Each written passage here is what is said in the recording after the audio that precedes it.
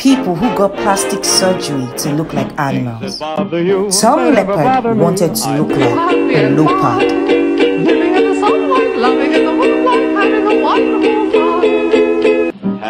Dennis Avner wanted to look like a tiger.